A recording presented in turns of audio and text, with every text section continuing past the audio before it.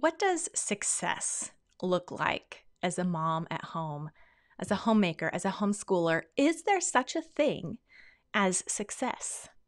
That's what we're going to talk about today, and I hope you will stick around for this encouraging word.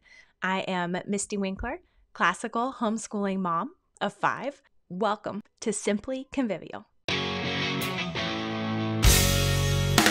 You know, simply getting more done often does not really matter. We need to be doing the right things and focusing on what's important. And sometimes that doesn't always feel successful. So rather than trying to determine whether we are or are not being successful or diagnosing what we need to do to be more successful as mothers, we need to think about growing in fruitfulness as Christian women. Fruitfulness rather than success should be our goal. So, today, let's look at what it means to be fruitful, how it's different from success, and how this metaphor can change our mindset in the midst of the day today. Let's dig in. So, naturally, we sit and at the end of a day and evaluate how our day went, how we did. And we think, was it good enough? Did I do well? And if we think in terms of success or doing well, we need to be careful of our metaphors and careful of what criteria we are using to evaluate ourselves and our lives because it's so easy to slip into the worldly categories of success correlating to numbers and quantifiable results. And we know in our lives as mothers at home, it doesn't lend itself to that kind of evaluation. This is a blessing in disguise because we are then not able to easily fool ourselves into thinking that we are doing well in terms of worldly success. But that doesn't mean that we give up. It doesn't mean that we say we are not successful at all. And it doesn't mean that we ignore that nagging feeling that we need to do better. That little nagging feeling is the recognition that we need more and more sanctification all of our lives. The Holy Spirit is working inside of us, prompting us to more and more walk in His ways, more and more obey Scripture. And that is fruitfulness, not quantifiable success. So if we shift our metaphor into one of fruitfulness, we will see that this is an organic metaphor. It means it's messy and it's a process. It's not a machine that is regular. All you have to do is flip the switch, turn on the power, and you have the widgets coming out one by one automatically. And you can count those results.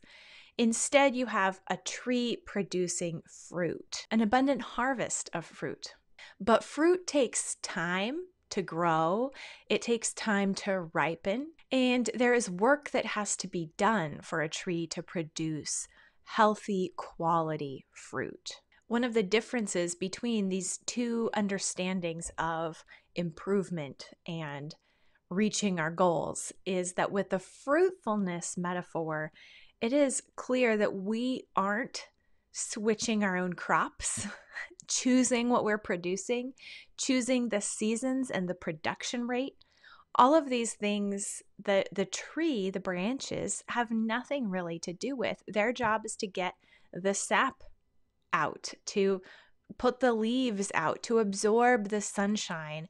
And to, the natural outworking of those ingredients is that fruit will be produced. And the tree doesn't necessarily get the credit for it, although the tree can be healthy or unhealthy and produce better or worse fruit. Still, even when the fruit is good, the credit goes to the farmer. And in this case, in this metaphor, the Holy Spirit is the cultivator. That's why they are fruits of the Spirit. They're being produced in our hearts through the work of the Spirit. The ingredients go in, God's word, our trust and reliance on God, our connection to his body, the church, our obedience and our grateful praise to him, all of these things have a natural outworking, an inevitable outworking.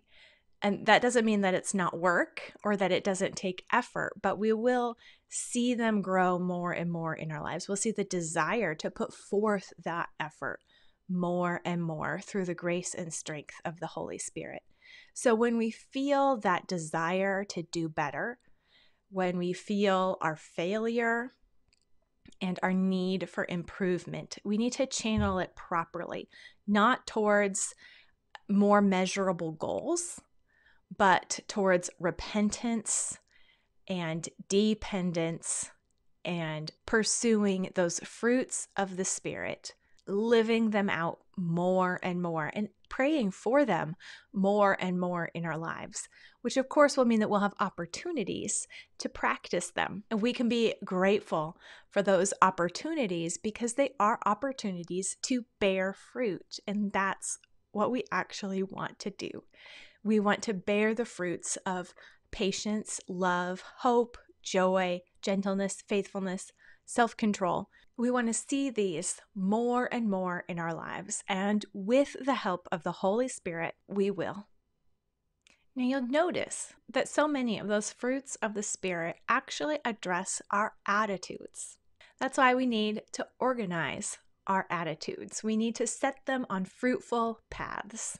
If you know that you are in need of an attitude adjustment, an attitude alignment, then I have just the workshop for you.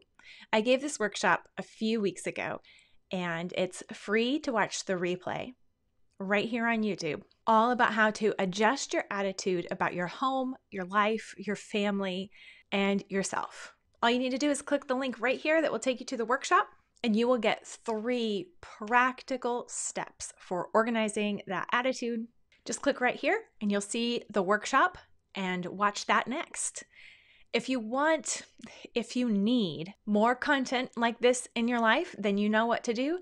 Hit subscribe, hit the bell, and watch that workshop. I'll see you around next time. And until then, repent, rejoice, repeat.